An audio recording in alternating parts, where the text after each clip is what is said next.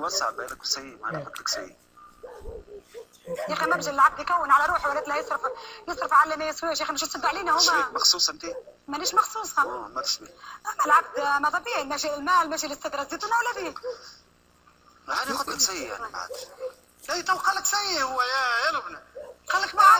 قسمت بالله العظيم قداش من مرة. نتلاقى أنا والطفلة.